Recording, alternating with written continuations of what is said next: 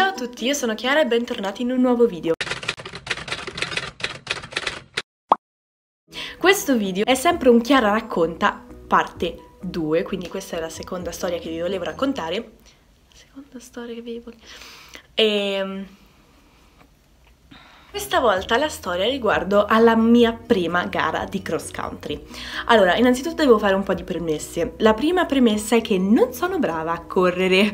I, um, il motivo per cui faccio cross country è solo il fatto che la mia local... Adesso lo spiego una volta per tutte così la domanda non sporge spontanea per quale motivo sto facendo cross country. Per chi non lo sapesse, cross country sarebbe la corsa... Uh, di resistenza, quindi bisogna fare tipo la gara di 3 miglia che sarebbero 5 km e appunto chi arriva prima vince. E ehm, io non sono brava a correre, sinceramente non mi piace correre, ma il motivo per cui sono nella squadra di cross country è che uno volevo fare sport o qualcosa di fisico, però la mia local coordinator mi aveva detto che per le persone che fanno 6 mesi è impossibile fare sport perché la squadra non vuole qualcuno da avere solo da 6 mesi e poi da lasciare dopo e quindi mi ero messa il cuore in pace che non potevo fare sport. Poi ho scoperto effettivamente che lo potevo fare, anche perché poi gli sport sono semestrali, quindi non so per quale motivo la mia local coordinator mi aveva detto di no. E mm, a quel punto era tipo inizio settembre e quindi tutti i team avevano già tutte le squadre, io volevo fare pallavolo ma aveva già una squadra formata e non la potevo fare. L'unico sport che potevo fare era cross country perché le ragazze sono pochissime e, e quindi mm, non interessa a nessuno se inizi dopo, inizi prima, puoi entrare quando ti pare. E quindi io con le altre due exchange students abbiamo deciso di entrare in cross country. Quindi effettivamente ci sono entrata molto dopo, tipo a fine settembre che è iniziato a metà agosto, quindi è tipo un mese e mezzo dopo. Per fortuna nella mia scuola la stagione di cross country finisce tipo a novembre, perché in altre scuole finisce tipo ad ottobre, quindi sarebbe stato un po' inutile.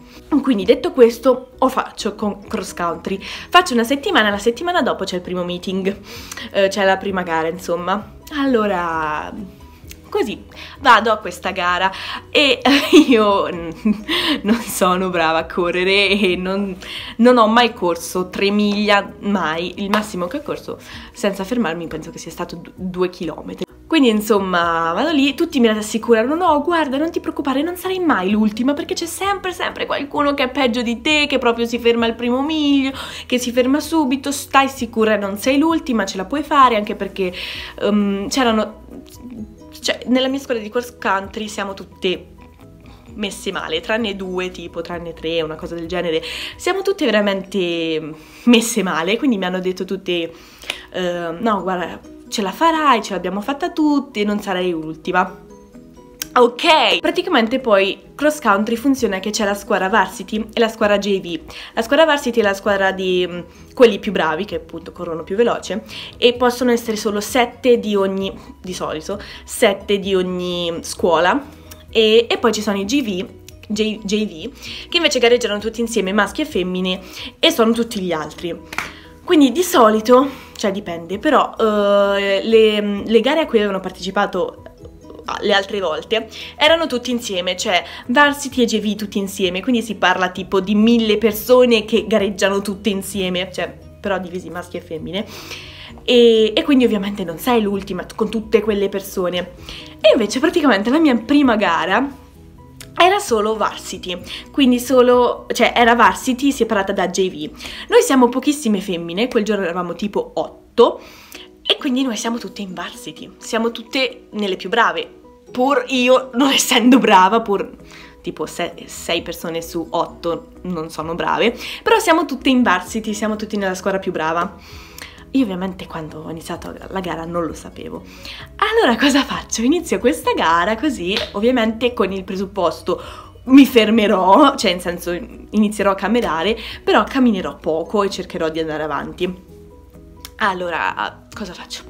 Inizio a correre così, poi incontro altre due ragazze carinissime veramente che correvano con me, erano di un'altra scuola, di un altro team, però continuavano a dire dai corri, corri, corri, sì, non ti fermare, così, quindi ho corso per un bel pezzo con loro tipo due miglia, una cosa del genere, poi a un certo punto ho fatto proprio, no, un attimo, io mi devo fermare, un attimo devo camminare, andate, eh, vi lascio, io devo camminare. E allora mi sono un attimo fermata, mi sono messa a camminare così e io praticamente ho, ora ho capito come funziona, però eh, all'inizio non lo sapevo, io iniziavo proprio spedita, dicevo ma c'ho un sacco di energie, iniziavo spedita a essere nei primi posti e poi tutti mi superavano perché morivo cosa sbagliatissima. E, e poi tra l'altro facevo um, un pezzo uh, tipo di corsa, poi mi fermavo, un pezzo di corsa, poi mi fermavo, quindi mo- stavo morendo e a un certo punto mi sono accorta che um, non c'era nessuno dietro di me. E quindi mi sono accorta che ero l'ultima, io stavo morendo ed ero tra, anche tra l'altro l'ultima. Quindi tipo mi sono demoralizzata tantissimo, ma proprio tantissimo, tipo ho fatto ma no, com'è possibile, sono ultima, io aspettavo con ansia qualcuno che arrivasse dietro di me e non c'era nessuno.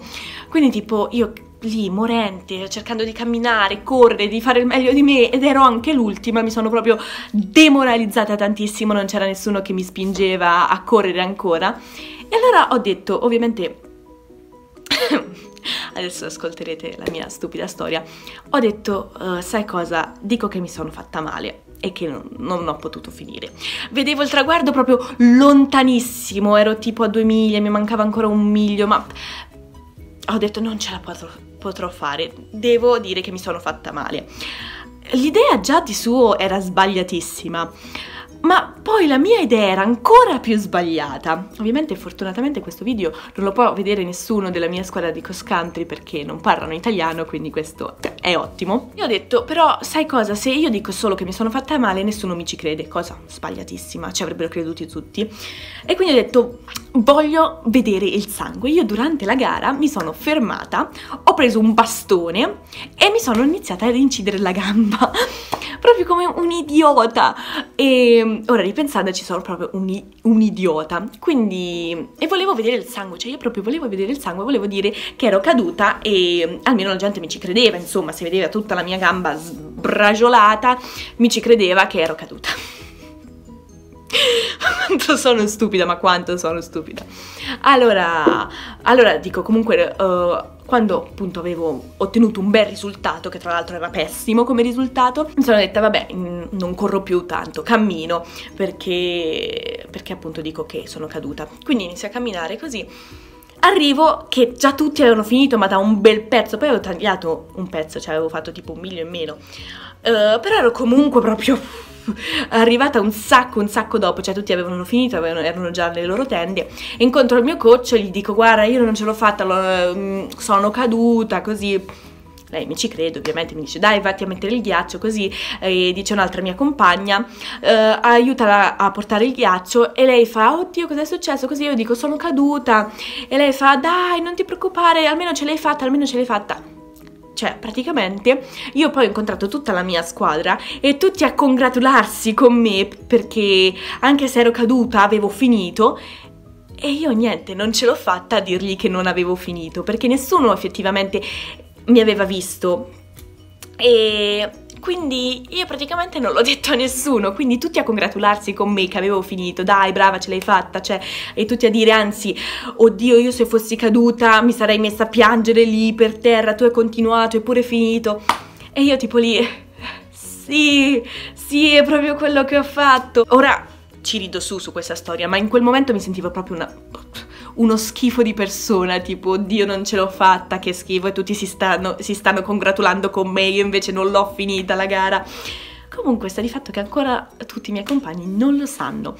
E tra l'altro ho, ho, avuto, ho fatto una pessima, cioè era una pessima, pessima idea perché, mm, cioè la mia gamba è completamente scorticata, non ve la faccio vedere perché vabbè, ma ancora le incisioni. Era pochissimo credibile, ma proprio la cosa meno credibile di tutti.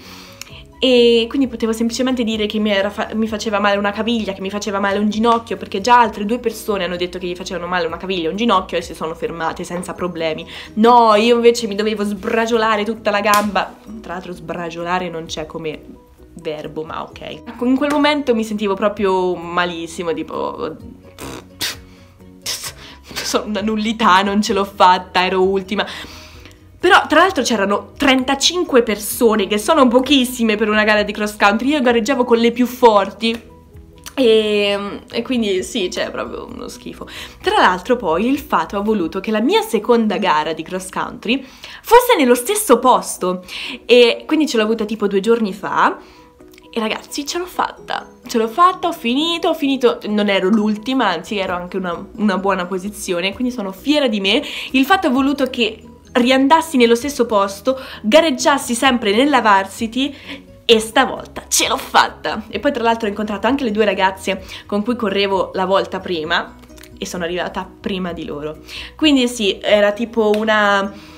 Uh, la mia prima gara è stata un po' per dirmi guarda Chiara hai fatto proprio schifo, la prossima ti ci devi proprio impegnare e infatti l'ho fatto.